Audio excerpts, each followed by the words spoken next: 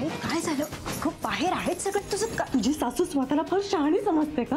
का- काय झालं आणि तू अशी उगाच का चिडते? खोटं बोलून तिने मला लग्नाला तयार केलंय. आणि आता सगळ्यांसमोर मला टोमणे मारतीये. तिला माहीत नाहीये का मी इथे का आले अगं विसरले असतील. नाही. तिचा प्लॅन आहे माझा अपमान करण्याचा. का तूच प्लॅन केलायस? तुझा काही भरोसा नाही आहेस आनंदी ताई प्लीज आनंदी तुझ्या सासूला मी खूप चांगल्या प्रकारे ओळखते. आता बघच. बघ मी तिला कशी पूर्ण उरते ताई घरात बाहेरच्या बायका आल्यात म्हणून तरी. म्हणूनच जास्त मजा येणार आहे. तू कसं सगळ्यांसमोर महेशला थम्सअप केलं होतंस? आता बघ. सगळ्यांसमोर मी कशी मजा करते. स्वानंदी!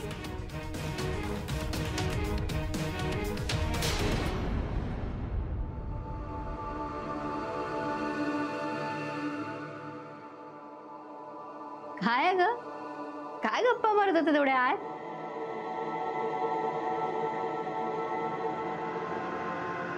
काय नाही हो काकू. मी स्वानंदीला हे सांगत होते की तुझ्या सासूबाई गळ्यात मंगळसूत्र म्हणून फक्त काळ्या मनाची पोत घालतात. तरी सुद्धा किती छान दिसतात.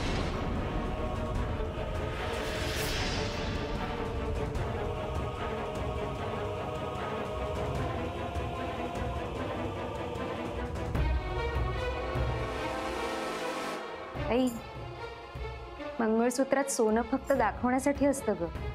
हं? काळ्या मण्यांची पोतच खरी. संपदा मी नेहमी हेच मंगळसूत्र घालते. पण तुमच्याकडे इतर दागिने पण असायचे ना काकू?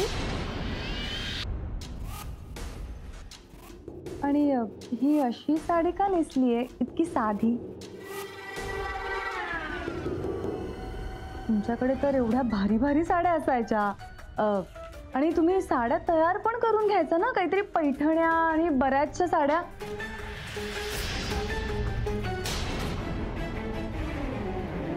एवढी साधी साडी आणि अंगावर दागिने नाही.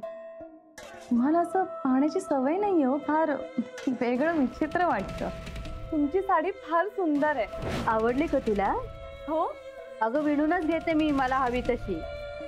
म्हणजे कसं आहे ना सुती साड्या हवी असेल तर नगर. पैठणी वगैरे हवी असेल तर येवला आणि इथे तिथे जायचं असेल तर इंदोर. कसं ना संपदा? फार लहान आहेस तू अजून. हं? त्यामुळे कळत नाही अगं तुला. प्रसंग कुणावरही येऊ शकतो नाही का? कळतं मला.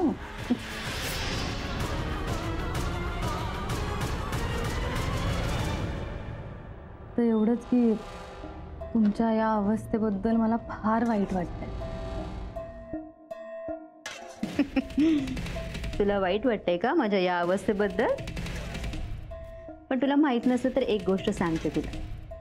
मी आजही माझ्या सासरी राहते माझ्या आवडत्या माणसांबरोबर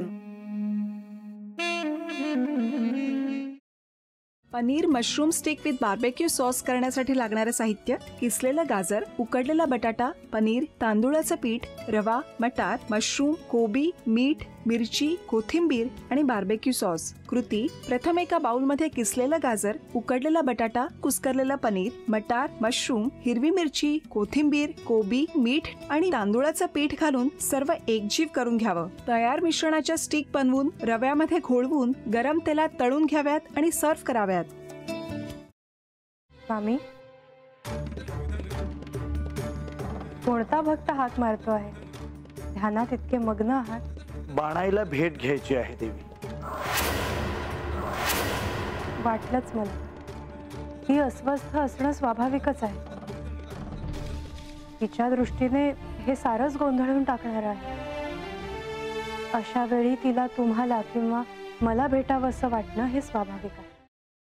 नमस्ते अंकल जी वो हमें आपसे कशा करता आलेस तू इथे? विकीची चाळी करायला?